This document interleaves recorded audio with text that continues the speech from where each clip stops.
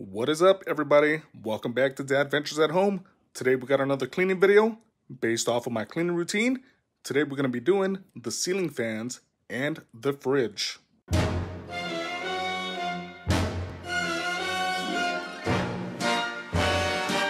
Okay, so this is based off of one of my Thursday cleaning routines, which also includes the microwave and the stovetop, but I'm sure you guys have seen enough of those videos because I do, that about twice a week. Now that being said, we're gonna start off with the fridge. Now we used to do this every three weeks, however I changed it recently just because the kids are starting to phase back into school for two days a week and it doesn't get as messy anymore. Now if you're looking at my fridge and wondering, why is it so empty? Don't you have five kids? Yes, yes I do. And you know what? This cleaning day is toward the end of the week, and that's why it's a little bit empty. Five kids, man. I mean, as the week goes by, the food just diminishes and disappears. I am never gonna financially recover from this. Now, I don't know if this is considered a deep clean because I do it so often, but I do get deep in there. So I guess it's a deep clean because I'm gonna clean everything. So we're gonna start off by taking all of the uh, little shelf panels off of the doors. I like to do it one at a time. So I'm gonna clear all the food out of there and get these guys washed up and then wipe down the door itself.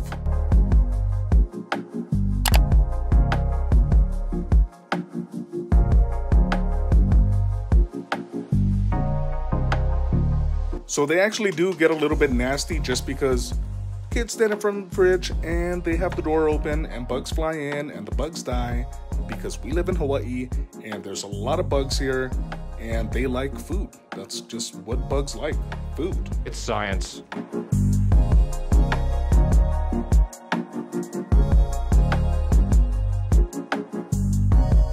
Once the doors are done, I'll move on to the actual main part of the fridge and I'll do it one shelf at a time, clearing everything and washing the shelf itself and the back of the fridge or the inside of the fridge.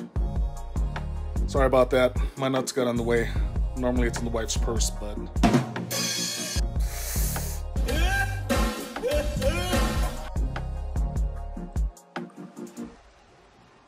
Depending how nasty the shelves get, sometimes I'll just wipe them down with a wet paper towel, and other times I'll take them to the sink and wash the whole thing because sometimes the kids will actually spill milk or juice or whatever the case may be.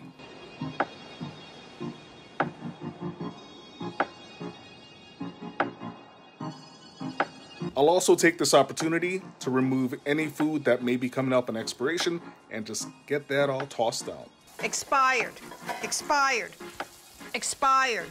So like I was saying, the bugs fly in here and they just die and they get trapped in there and I'll clean the fridge as I see bugs in there, but I'll use my routine to actually clean the whole thing out and get under the drawers and all that nastiness.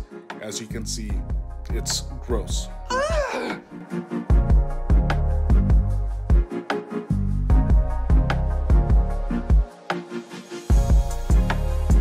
Then once I'm done with the inside, I'll move on to the outside and I'll just use one of these stainless steel cleaner thingamajigs, get it all wiped down, and then come back over with a clean microfiber cloth and get all that residue off. And as you can see, there's a lot of swirl marks on here because when I first started doing it, I was just using a sponge and I had no idea what I was doing. I'm sorry. Then once this is all done, we're gonna move on to our next drawer, which is the ceiling fans. So I'll do the ceiling fans about once every five weeks. I know that might seem a little bit often. I know a lot of people wait months before they do it. However, we live in Hawaii and our windows are always open and the fans are always on for the most part and they just collect a whole lot of dust and they sometimes get really nasty. Now you can see ours is there's some dirt on them or some dust, but they're not really nasty like other ceiling fans that you'll see. And that's because I do them often, every five weeks.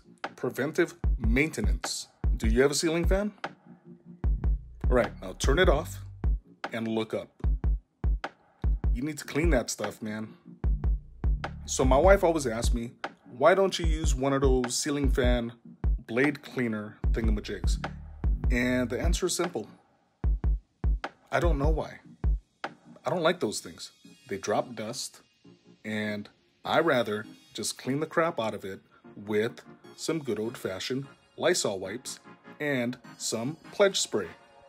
So it's pretty simple. What I do is I'll just get my little step stool, climb on up, and I'll wipe all around the edges of the fan blade with a Lysol wipe because it does a really good job at cleaning it off.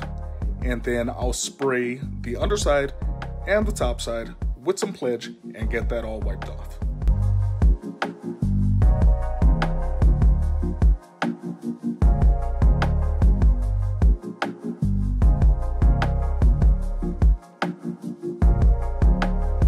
Now, a lot of people will take this opportunity to actually clean the light fixtures and all that as well.